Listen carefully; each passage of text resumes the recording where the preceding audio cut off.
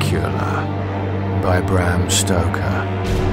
Read by Mike Bennett. Episode 4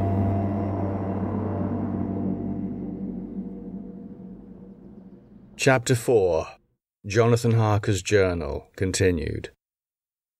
I awoke in my own bed. If it be that I had not dreamt, the Count must have carried me here. I tried to satisfy myself on the subject, but could not arrive at any unquestionable result. To be sure, there were certain small evidences, such as that my clothes were folded and laid by in a manner which was not my habit. My watch was still unwound, and I am rigorously accustomed to wind it the last thing before going to bed, and many such details. But these things are no proof, for they may have been evidences that my mind was not as usual, and, from some cause or another, I had certainly been much upset. I must watch for proof. Of one thing I am glad. If it was that the Count carried me here and undressed me, he must have been hurried in his task, for my pockets are intact. I am sure this diary would have been a mystery to him which he would not have brooked. He would have taken or destroyed it. As I look around this room, although it has been to me so full of fear, it is now a sort of sanctuary, for nothing can be more dreadful than those awful women who were, who are, waiting to suck my blood. 18th May. I have been down to look at that room again in daylight, for I must know the truth. When I got to the doorway at the top of the stairs, I found it closed. It had been so forcibly driven against the jamb that part of the woodwork was splintered. I could see that the bolt of the lock had not been shot, but the door is fastened from the inside. I fear it was no dream and must act on this surmise. 19th of May. I am surely in the toils. Last night the Count asked me in the suavest tones to write three letters, one saying that my work here was nearly done and that I should start for home within a few days, another that I was starting on the next morning from the time of the letter, and the third that I had left the castle and arrived at Bistritz.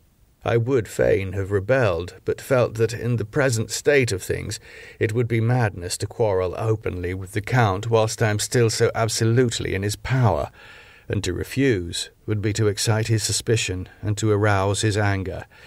He knows that I know too much, and that I must not live, lest I be dangerous to him. My only chance is to prolong my opportunities.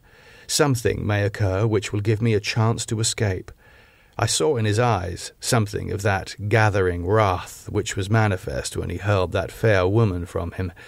He explained to me that posts were few and uncertain, and that my writing now would ensure ease of mind to my friends.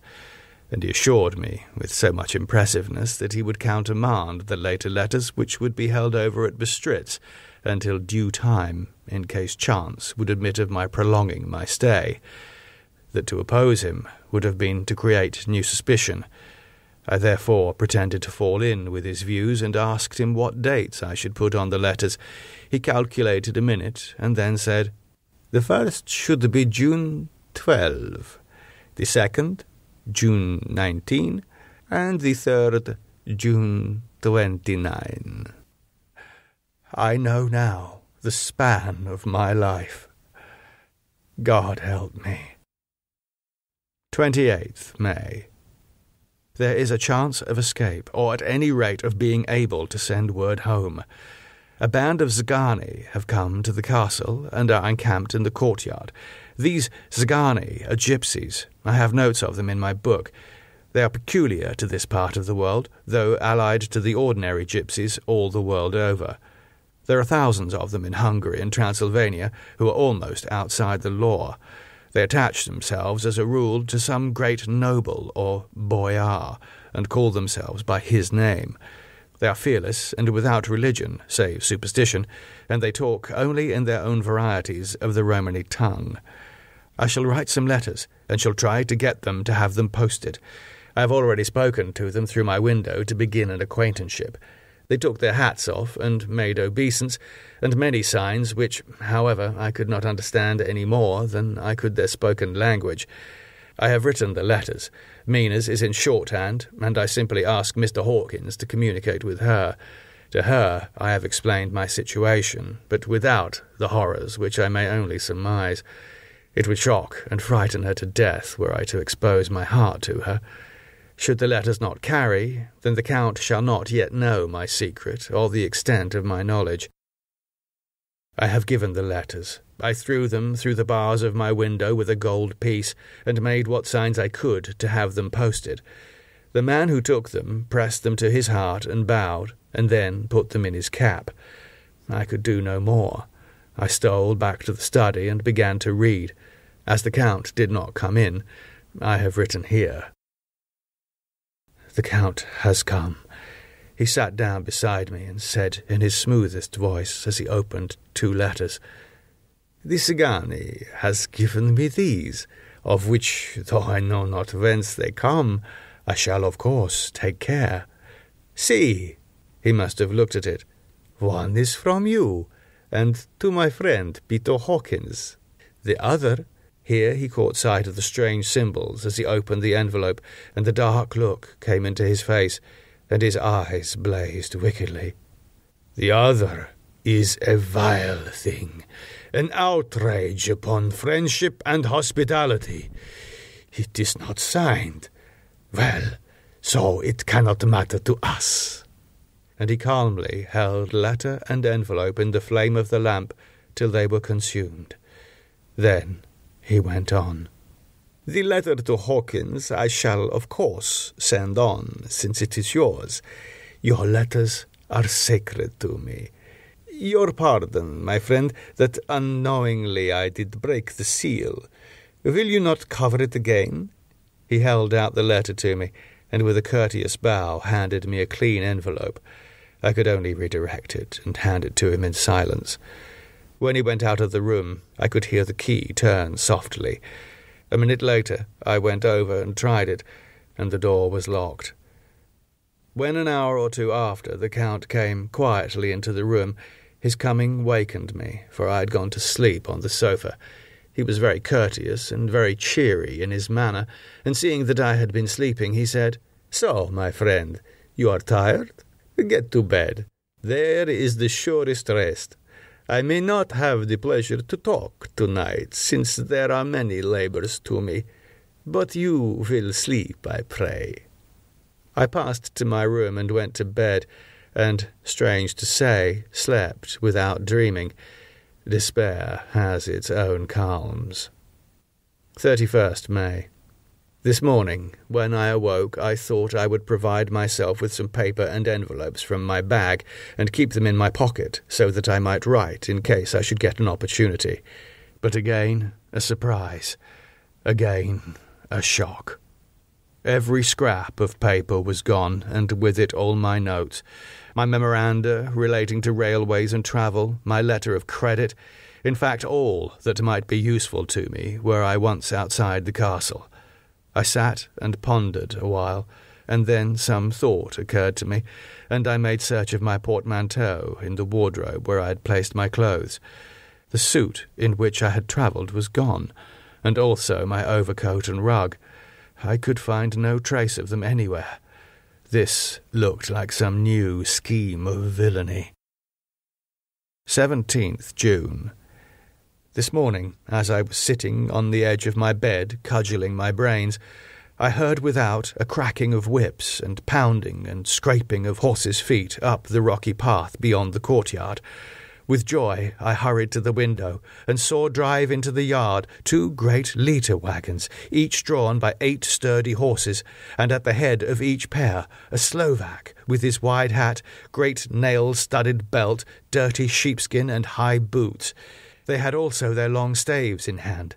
I ran to the door, intending to descend and try to join them through the main hall, as I thought that way might be opened for them. Again a shock.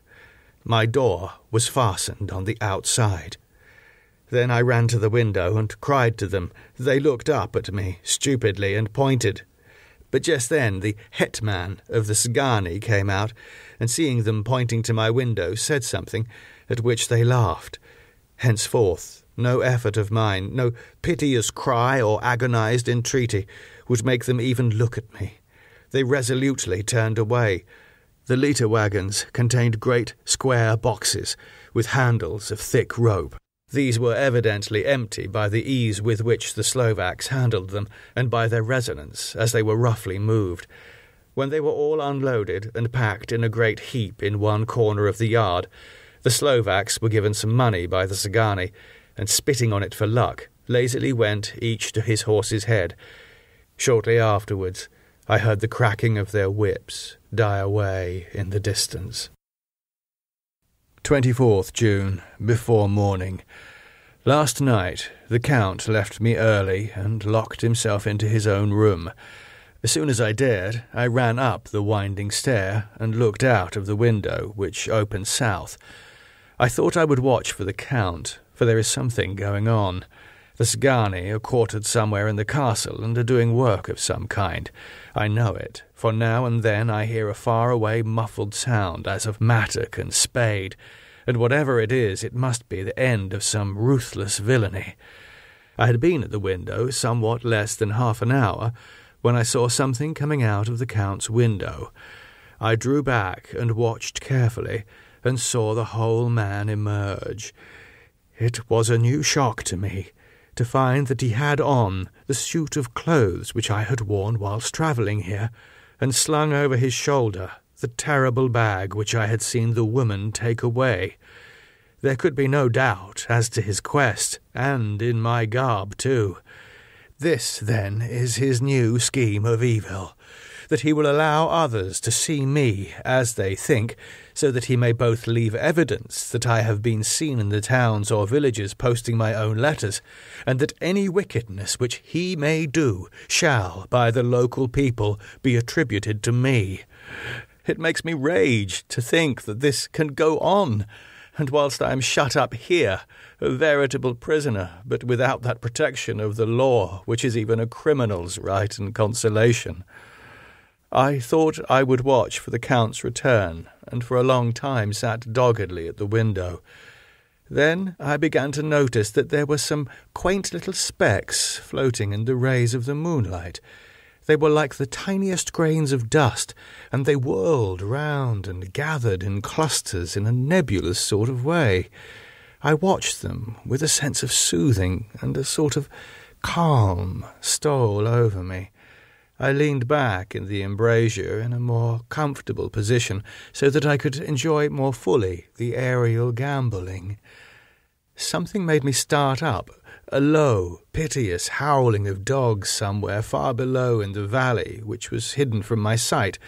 Louder it seemed to ring in my ears, and the floating motes of dust to take new shapes to the sound as they danced in the moonlight.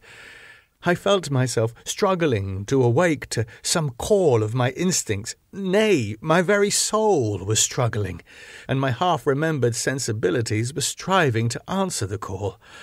I was becoming hypnotized. Quicker and quicker danced the dust. The moonbeams seemed to quiver as they went by me into the mass of gloom beyond. More and more they gathered till they seemed to take dim, phantom shapes. And then I started, broad awake and in full possession of my senses, and ran screaming from the place. The phantom shapes, which were becoming gradually materialized from the moonbeams, were those of the three ghostly women to whom I was doomed. I fled, and felt somewhat safer in my own room, where there was no moonlight and where the lamp was burning brightly. When a couple of hours had passed, I heard something stirring in the Count's room, something like a sharp wail quickly suppressed, and then there was silence, deep, awful silence, which chilled me. With a beating heart I tried the door, but I was locked in my prison and could do nothing. I sat down and simply cried. As I sat, I heard a sound in the courtyard without, the agonized cry of a woman. I rushed to the window and, throwing it up, peered out between the bars. There indeed was a woman with dishevelled hair, holding her hands over her heart as one distressed with running. She was leaning against the corner of the gateway.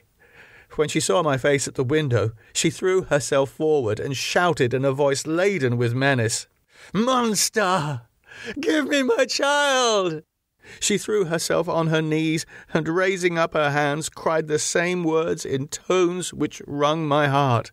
Then she tore her hair and beat her breast and abandoned herself to all the violences of extravagant emotion.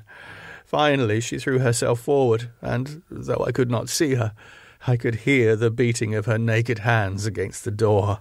Somewhere high overhead, probably on the tower, I heard the voice of the Count calling in his harsh, metallic whisper. His call seemed to be answered from far and wide by the howling of wolves. Before many minutes had passed, a pack of them poured, like a pent up dam when liberated, through the wide entrance into the courtyard. There was no cry from the woman, and the howling of the wolves was but short. Before long, they streamed away singly, licking their lips.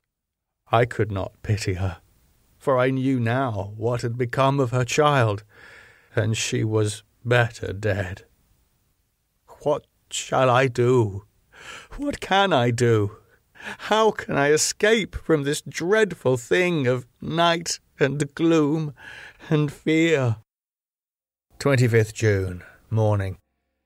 No man knows till he has suffered from the night how sweet and how dear to his heart and eye the morning can be. When the sun grew so high this morning that it struck the top of the great gateway opposite my window, the high spot which it touched seemed to me as if the dove from the ark had lighted there. My fear fell from me as if it had been a vaporous garment which dissolved in the warmth. I must take action of some sort whilst the courage of the day is upon me. Last night, one of my post dated letters went to post, the first of that fatal series which is to blot out the very traces of my existence from the earth. Let me not think of it. Action! It has always been at night time that I have been molested or threatened or in some way in danger or in fear. I have not yet seen the Count in the daylight. Can it be that he sleeps when others wake? That he may be awake whilst they sleep? If I could only get into his room! But there is no possible way. The door is always locked. No way for me. Yes, there is a way, if one dares to take it. Where his body has gone, why may not another body go? I have seen him myself crawl from his window. Why should not I imitate him and go in by his window? The chances are desperate, but my need is more desperate still. I shall risk it. At the worst, it can only be death, and a man's death is not a calf's, and the dreaded hereafter may still be open to me. God help me in my task. Goodbye, Mina if I fail. Goodbye, my faithful friend and second father. Goodbye, all, and last of all, Mina. Same day, later, I have made the effort, and God helping me, have come safely back to this room. I must put down every detail in order. I went, whilst my courage was fresh, straight to the window on the south side, and at once got outside on the narrow ledge of stone which runs around the building on this side. The stones are big and roughly cut, and the mortar has, by process of time, been washed away between them. I took off my boots and ventured out on the desperate way. I looked down once so as to make sure that a sudden glimpse of the awful depth would not overcome me but after that kept my eyes away from it. I knew pretty well the direction and distance of the Count's window, and made for it as well as I could, having regard to the opportunities available. I did not feel dizzy. I suppose I was too excited, and the time seemed ridiculously short till I found myself standing on the window sill and trying to raise up the sash. I was filled with agitation, however, when I bent down and slid feet foremost in through the window. Then I looked around for the Count, but with surprise and gladness made a discovery. The room was empty. It was barely furnished with odd things which seemed to have never been used. The furniture was something the same style as that in the south rooms, and was covered with dust. I looked for the key, but it was not in the lock, and I could not find it anywhere. The only thing I found was a great heap of gold in one corner gold of all kinds Roman and British and Austrian and Hungarian and Greek and Turkish money, covered with a film of dust as though it had lain long in the ground. None of it that I noticed was less than three hundred years old. There were also chains and ornaments, some jewelled, but all of them old and stained. At one corner of the room was a heavy door. I tried it, for since I could not find the key of the room or the key of the outer door, which was the main object of my search, I must make further examination, or all my efforts would be in vain. It was open, and led through a stone passage to a circular stairway, which went steeply down.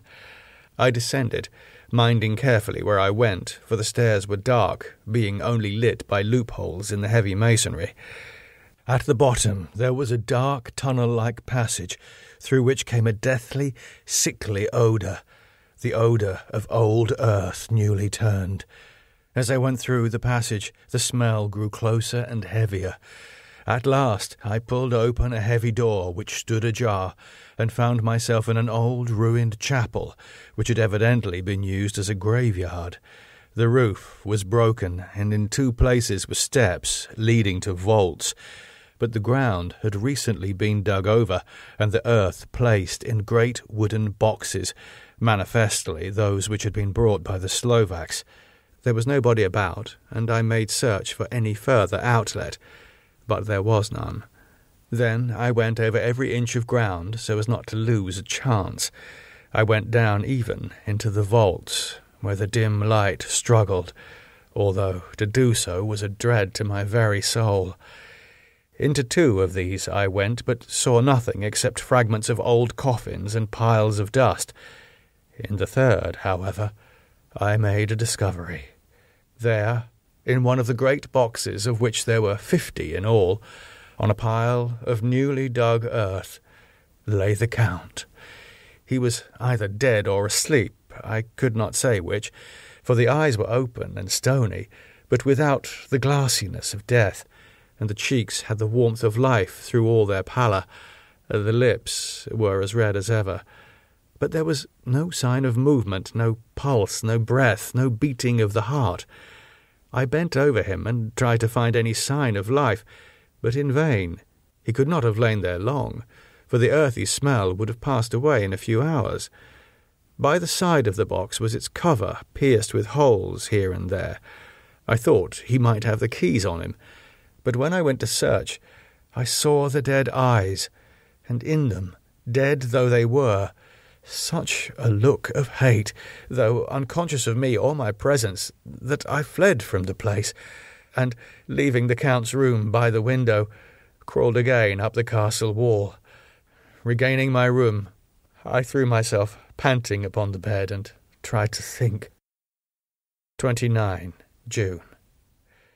Today is the date of my last letter and the Count has taken steps to prove that it was genuine, for again I saw him leave the castle by the same window and in my clothes. As he went down the wall, lizard fashion, I wished I had a gun or some lethal weapon that I might destroy him. But I fear that no weapon wrought alone by man's hand would have any effect on him. I dared not wait to see him return, for I feared to see those weird sisters I came back to the library and read there till I fell asleep. I was awakened by the Count, who looked at me as grimly as a man can look, as he said, Tomorrow, my friend, we must part. You return to your beautiful England, I to some work which may have such an end that we may never meet. Your letter home has been dispatched. Tomorrow I shall not be here, but all shall be ready for your journey. In the morning come the Szgany, who have some labours of their own here, and also come the Slovaks. When they have gone, my carriage shall come for you, and shall bear you to the Borgo Pass to meet the diligence from Bukovina to Bistritz.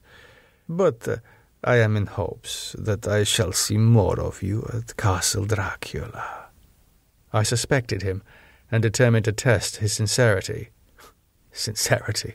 It seems like a profanation of the word to write it in connection with such a monster.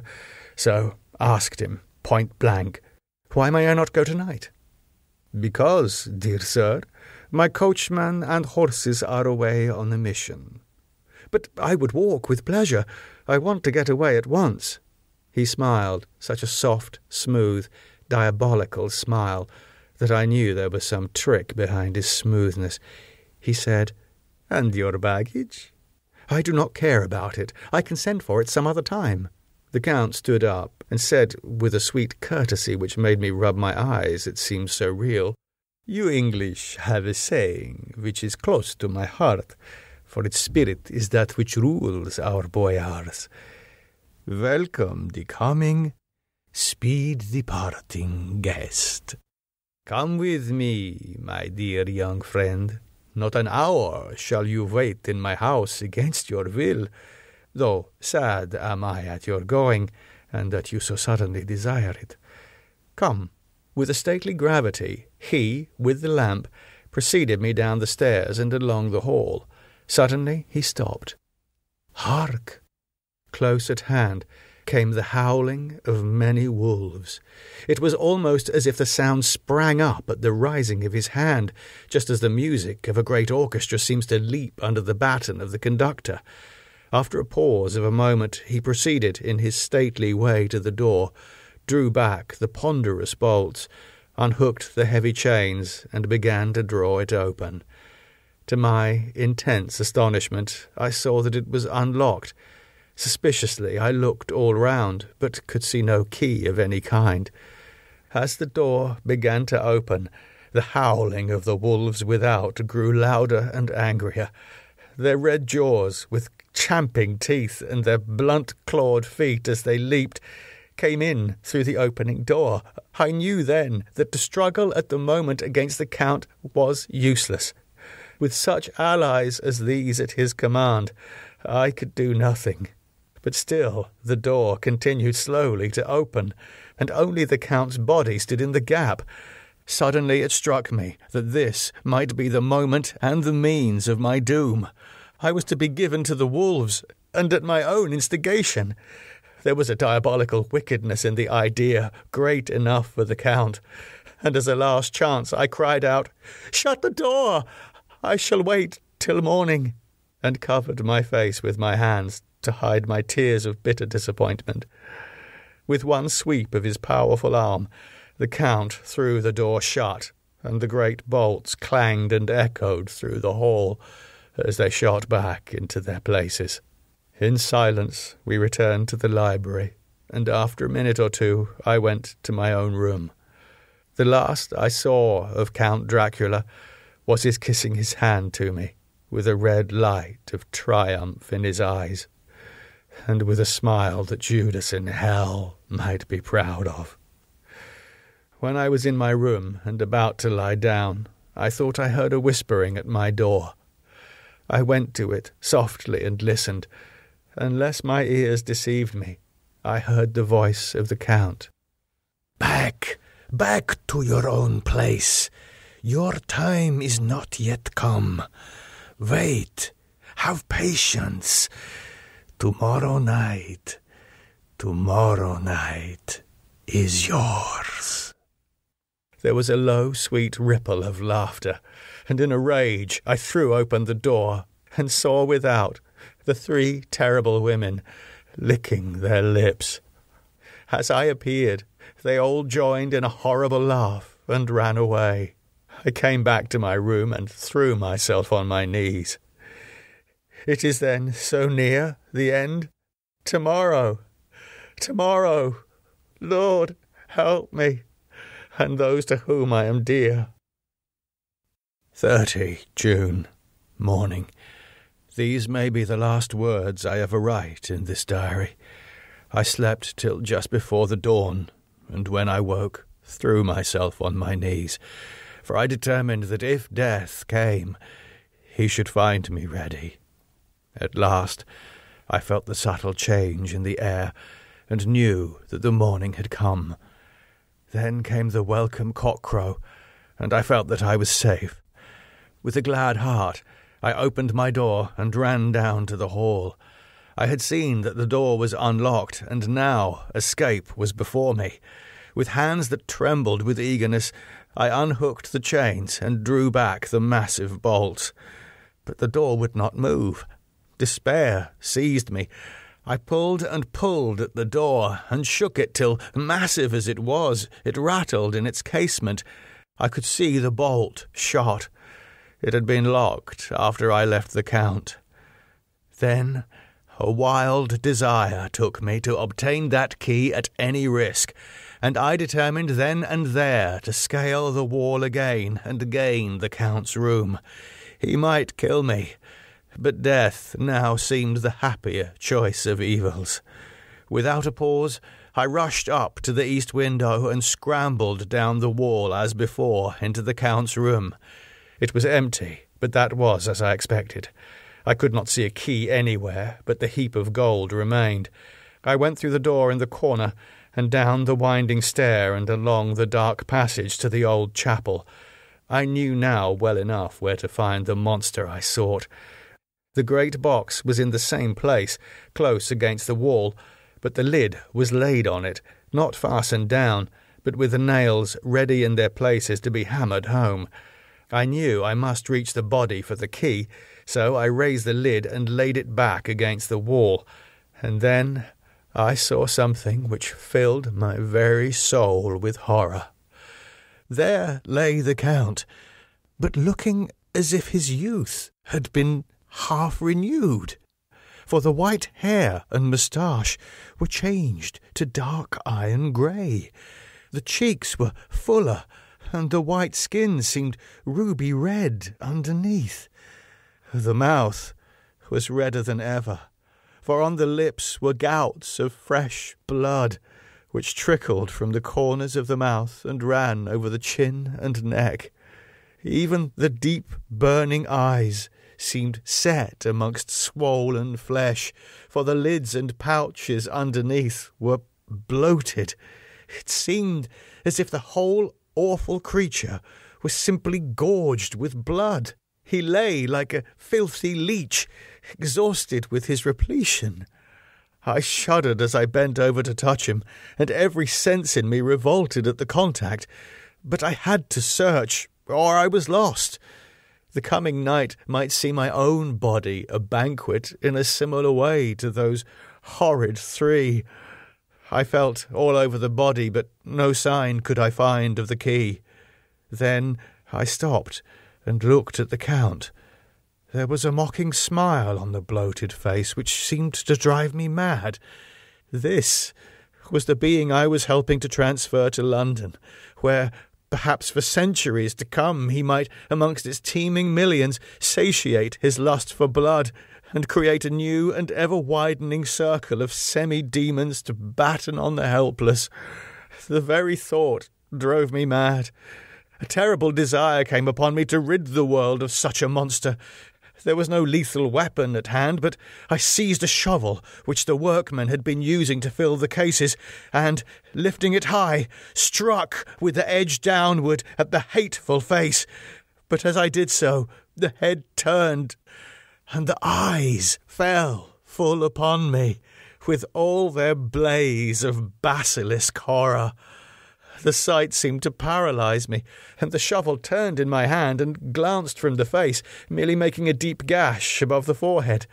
The shovel fell from my hand across the box, and as I pulled it away, the flange of the blade caught the edge of the lid, which fell over again and hid the horrid thing from my sight. The last glimpse I had was of the bloated face, blood stained and fixed with a grin of malice which would have held its own in the nethermost hell. I thought and thought what should be my next move, but my brain seemed on fire, and I waited with a despairing feeling growing over me. As I waited, I heard in the distance a gypsy song, sung by merry voices, coming closer, and through their song, the rolling of heavy wheels and the cracking of whips. The Szgany and the Slovaks of whom the Count had spoken were coming. With a last look around and at the box which contained the vile body, I ran from the place and gained the Count's room, determined to rush out at the moment the door should be opened.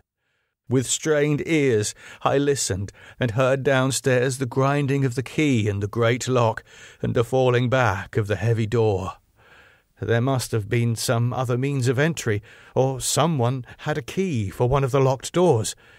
Then there came the sound of many feet tramping and dying away in some passage which sent up a clanging echo.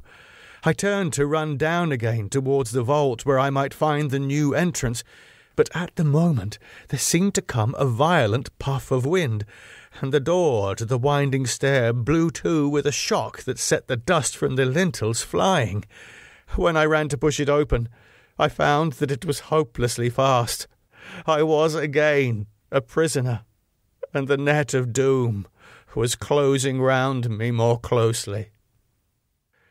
As I write, there is in the passage below a sound of many tramping feet, and the crash of weights being set down heavily, doubtless the boxes with their freight of earth. There is a sound of hammering. It is the box being nailed down. Now I can hear the heavy feet tramping again along the hall, with many other idle feet coming behind them. The door is shut, and the chains rattle. There is a grinding of the key in the lock. I can hear the key withdraw. Then another door opens and shuts. I hear the creaking of lock and bolt. Hark! In the courtyard and down the rocky way, the roll of heavy wheels, the crack of whips, and the chorus of the Szgany as they pass into the distance. I am alone in the castle with those awful women. For Mina is a woman, and there is naught in common. They are devils of the pit. I shall not remain alone with them. I shall try to scale the castle wall farther than I have yet attempted. I shall take some of the gold with me, lest I want it later. I may find a way from this dreadful place. And then away for home, away to the quickest and nearest train away from this cursed spot, from this cursed land where the devil and his children still walk with earthly feet. At least God's mercy is better than that of these monsters. And the precipice is steep and high, and at its foot a man may sleep as a man. Goodbye, all. Mina.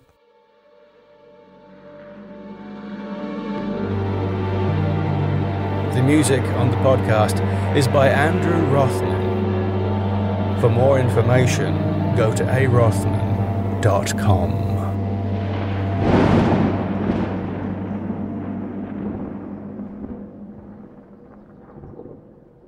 Thank you for listening. If you're enjoying this podcast and you're a fan of classic horror stories, like those of H.P. Lovecraft, for example, then you may enjoy another of my podcasts. This one's called The Vault of Lovecraft.